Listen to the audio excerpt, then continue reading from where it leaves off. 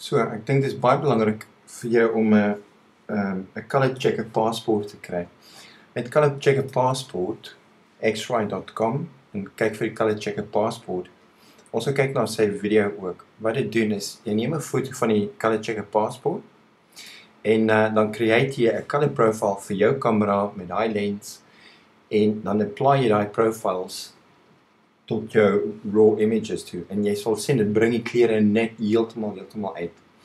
So ek het al klaar vir my my eie profiles gemaak. Nou nadat jy jou foto's geïmport het, gaan ons dan develop toe.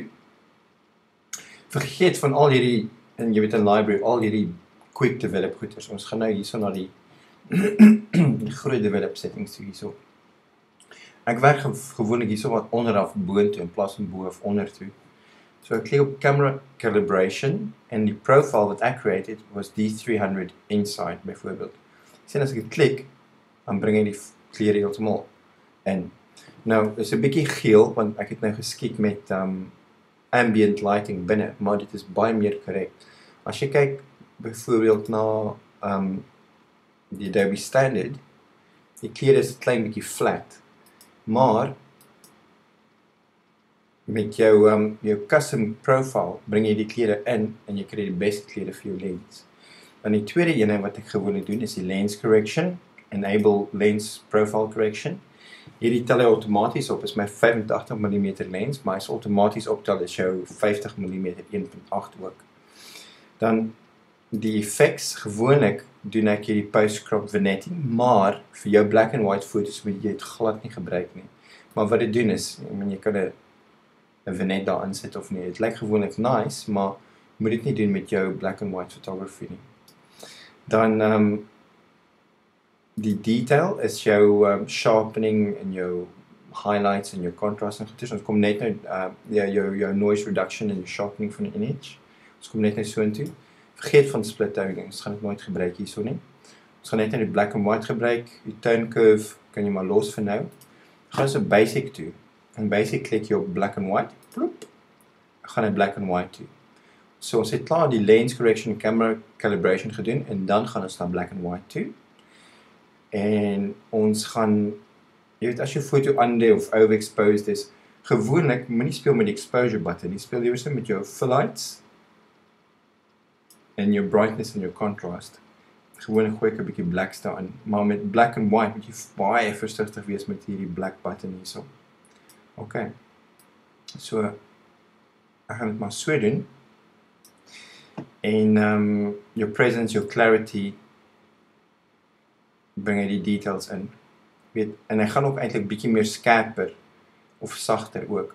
So die clarity, dit maak regtig nie saak nie. Vir jou sal ek dit miskien afbring in plaas van opvat. OK, um, dan in your black and white wat nice is, jy so jy klik op hierdie button hier so en dan wil ek bietjie meer detail hierso in in daai area hê. Jy klik op dit en jy drag dit op of af. sien jy in daai deel van die skin bring jy dit op en af.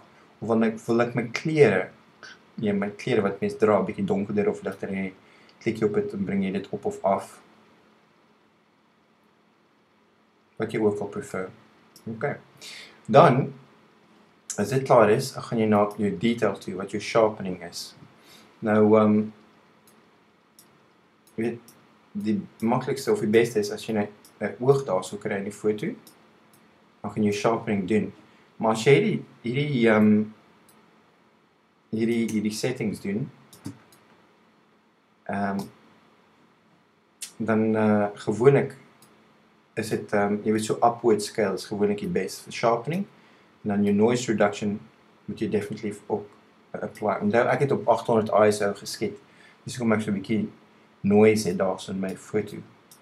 Maar ook die maklikste of die beste om te sien wat jou jou um, sharpening doen is um terwyl jy jou sharpening adjustments doen, hou jy die alt option key in en jy draai hierdie goeders links en regs en jy kan baie beter die outline sien. Alt option key links en regs, detail alt option key links en regs. Jy kan baie makliker sien wat die sharpening doen of nie doen nie met my masking wat hy doen of nie doen nie. OK. So ek dink dis pik fyn so. bietjie noisy omdat ek op agtergrond geskiet het op jou studio gaan jy nou nie daai noise sien nie. So as ek nou klaar is hierso en ek besluit dit is nou 'n nice effect of is 'n nice um um setting wat ek nou net gebruik het. En dan stel jy dit op as 'n default preset vir jouself. OK, so ek besluit dit gaan my default preset wees. En uh dan gaan jy hierso na jou um jou presets so aan jou linkerkant in jou onder jou navigator. Klik jy plus and select ons sê maar Kenny black and white preset 1. Want baie keer wil jy miskien drie verskillende presets hê, maar nou gaan ons maar net preset 1. Hou die auto tone off, auto black and white mix off, alles af. Uh, hou alles aan daarso in hierdie setting. En dan um, kan jy net split toning graduate filters offset. Sê ons create want ons uh, ken die black and white een preset gebruik. Create. Nou ons kan hierdie image reset en dan kan ons net, jy weet uit jou presets af wil dit aanstel en kom al daai settings outomaties in. Ook as jy wil cropping doen, druk die R knoppie vir R vir Romeo dan kan jy cropping doen. Maak seker jou aspect is gelock tot die original toe. Anders te doen dit nie in proportions nie. Kan jy bietjie daar so stel as jy wil. Jy links en regs beweeg. OK, so dan is my cropping ook klaar. Nou sien ek Annika daar so 'n bietjie bags onder haar eyes en ek wil dit bietjie verander. So dan klik jy daar so zoom 2 to 1 2 en dan gaan ons hierso tot onder die oë OK. En uh in die volgende video gaan ons 'n bietjie hierdie cropping doen.